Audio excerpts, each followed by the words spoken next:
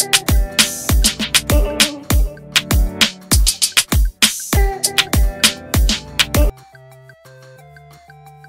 นิพักผงาดยอดเยี่ยมหญิงแห่งปีคชเชซิล ผู้เสียสละเพื่อสังคม เมื่อวันที่ 1 กุมภาพันธ์ที่ผ่านมาสหพันธ์เทควันโดโลก WT ได้จัดการประชุมใหญ่วิสามัญประจำปี 2023 Extraordinary Council Meeting ขึ้นที่โรงแรมฮอลิเดย์อินกรุงเทพมหานคร โดยมีดรโชชุงวอนประธานสหพันธ์เทควันโดโลกชาวเกาหลีใต้ พร้อมด้วยผู้ช่วยศาสตราจารย์พิมลศรีวิกรนายกสมาคมกีฬาเทควันโดแห่งประเทศไทย และกรรมการบริหารเข้าร่วมอย่างพร้อมเพรียง นอกจากนี้ยังมีการประชุมผ่านระบบออนไลน์ทางสุ่มร่วมกับกรรมการบริหารที่ไม่สามารถเดินทางมาเข้าร่วมการประชุมที่ประเทศไทยด้วย ก่อนการประชุมได้มีพิธีมอบรางวัลนักกีฬาเทควันโดยอดเยี่ยมหญิงแห่งปีให้กับ น้องเทนนิส เรืออากาศตรีหญิงพานิพักวงพัฒนกิจนักกีฬาเทควันโดหญิงทีมชาติไทย เจ้าของเหรียญทองโอลิมปิกเกม 2020 ที่ปีนี้ยังทำผลงานได้อย่างยอดเยี่ยม กวาดแชมป์รายการสำคัญสำคัญได้ถึง 5 รายการจาก 8 รายการที่ลงแข่งขัน โดยมีดรโชชุงวอนเป็นประธานมอบรางวัลด้วยตัวเอง บิ๊กเอ ผู้ช่วยศาสตราจารย์พิมลศรีวิกรกล่าวว่าการประชุมใหญ่ครั้งนี้ถือเป็นเกียรติอย่างยิ่งที่สหพันธ์เทควันโดโลกได้มอบหมายให้สมาคมกีฬาเทควันโดเป็นเจ้าภาพ ซึ่งที่ประชุมมีการหารือในวาระต่างๆ อาทิการปรับปรุงแก้ไขกฎระเบียบข้อบังคับ เพื่อพัฒนาการบริหารงานของสหพันธ์ได้ก้าวหน้ามากยิ่งขึ้น รวมถึงการอัปเดตกติกาการแข่งขันและโปรแกรมการแข่งขันเทควันโดรายการต่างๆ ซึ่งทุกชาติมีงานใหญ่คือการเตรียมทีมนักกีฬามุ่งหน้าสู่มหกรรมใหญ่อย่างกีฬาโอลิมปิกเกม 2024 ที่กรุงปารีสประเทศฝรั่งเศสอย่างเต็มที่ ขณะเดียวกันวงการเทควันโดไทยยังได้รับข่าวดีอย่างต่อเนื่อง เมื่อล่าสุดโค้ชเช ชัดชัยเชหัวหน้าผู้ฝึกสอนทีมเทควันโดทีมชาติไทย ได้รับรางวัลผู้เสียสละเพื่อสังคม จากกระทรวงการพัฒนาสังคมและความมั่นคงของมนุษย์ ซึ่งถือเป็นเกียรติประวัติและความภาคภูมิใจของโค้ชเชรวมทั้งสมาคมที่มุ่งมั่นทุ่มเททำงานหนักเพื่อทำชื่อเสียงให้กับประเทศไทย มาอย่างต่อเนื่องอีกด้วย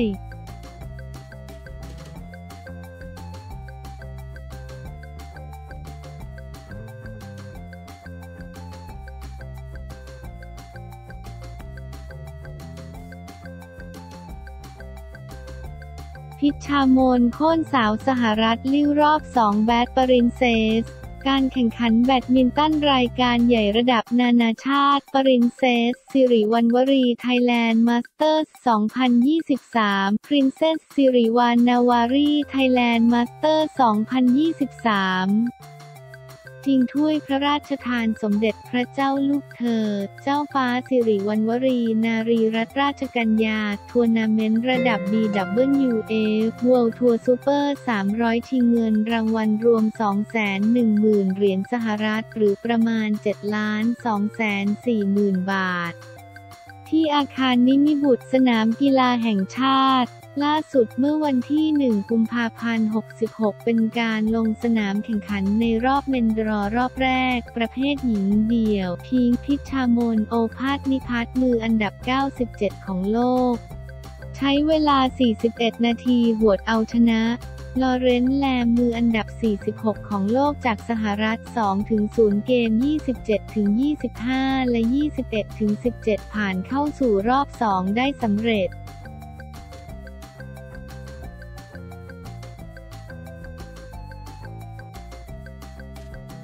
มิงสระบุรีแซงสาวอังกฤษการันตีสอยคิวหญิงมือหนึ่งของโลกแล้วมิงสระบุรีนัชชารัตนวงศ์หฤทัยนักสอยคิวหญิงชาวไทย เจ้าของแชมป์โลก 2022 สร้างประวัติศาสตร์ก้าวขึ้นไปครองมือหนึ่งโลกหญิงซึ่งถือเป็นนักสอยคิวไทยคนแรกทั้งชาย และหญิงที่สามารถทำได้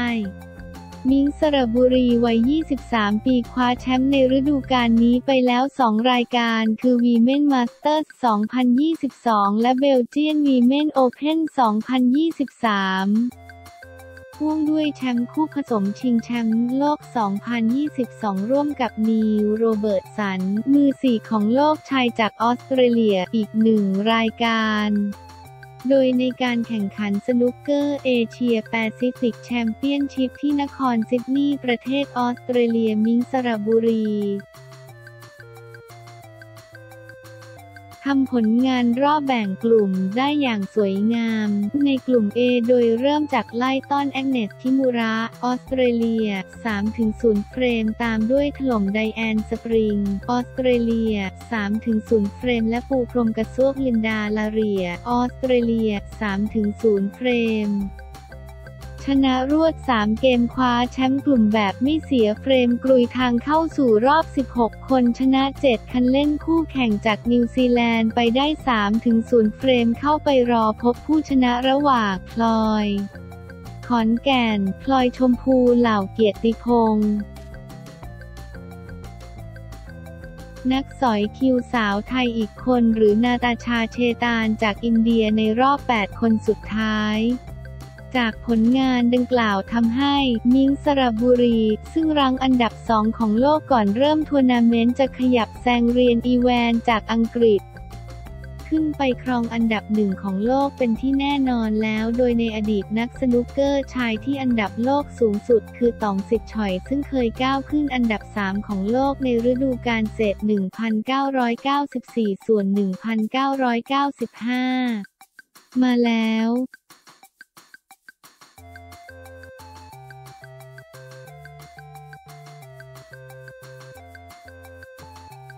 สาวจีนฟอร์มฮอต ทะลุก่อนรองหัว Thailand Open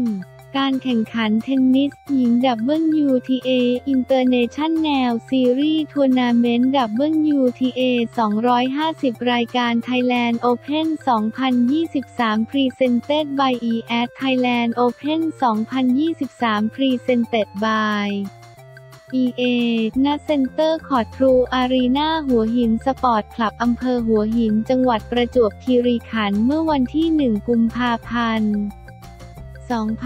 2566 เป็นการชิงชัยรอบเมนดรอวันที่ 3 ประเภทหญิงเดี่ยวรอบ 16 คนจูหลินนักหวดสาวจีนมือ 54 ของโลก ลงดวลแร็กเกตกับจางซูจองมือ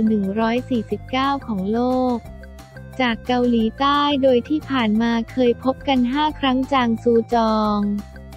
ชนะ 3 ครั้ง และจูหลินชนะ 2 ครั้งส่วนการแข่งขันในแมตช์นี้จูหลินหวดในเกมเสิร์ฟของตัวเองได้แน่นอนกว่า และหวด return โต้ลูกท้ายคอร์ตได้เฉียบขาด เอาชนะไปได้ 2-0 เซต 6-4 และ 7-6 ไทเบรก 8-6 ใช้เวลาการแข่งขัน 2 ชั่วโมง 21 นาที ทำให้จูหลินผ่านเข้ารอบก่อนรองชนะเลิศ 8 คน ไปรอพบผู้ชนะระหว่างลินดาฟรูเวอร์โตว่ามือวาง 8 และมือ 51 ของโลกจากสาธารณรัฐเช็กกับธามาราซีดานเซกมือ 132 ของโลก จากสโลวีเนียขณะที่ผลการแข่งขันในประเภทหญิงคู่ รอบแรก 16 คู่ ฮันซินยุนและเบธานีมัตเทกแซน จีนสหรัฐอเมริกา ชนะอิซาลินโบนาวองตู เบลเยียม และเอคาทรีนายาซีนา 6-3 และ 7-5ด้าน นาตาลิยา สเตฟานโนวิช นักหวดจากเซอร์เบียมือ 220 ของโลก ได้ร่วมกิจกรรมเทนนิสคลินิก demo day โดยวิลสัน โดยมีคุณสุภาพรปรีเปรมผู้อำนวยการฝ่ายบริหารสินค้าแบรนด์วิลสันร่วมด้วยกิจกรรมนี้จัดโดยซูเปอร์สปอร์ตในเครือเซ็นทรัลรีเทล ร้านค้ากีฬาอันดับหนึ่งของประเทศไทย ผู้จัดจำหน่ายสินค้าแบรนด์วิลสันผู้ร่วมสนับสนุนศึกไทยแลนด์โอเพน2023 Presented by EA โดยเปิดให้บุคคลทั่วไปได้ร่วมฝึกทักษะการเล่นเทนนิสกับนักกีฬาระดับโลกที่เข้าร่วมการแข่งขัน รวมทั้งทดสอบแร็กเก็ตทั้งหมด 4 รุ่นวิลสันแคลช V2 เหมาะกับการตีแบบ all around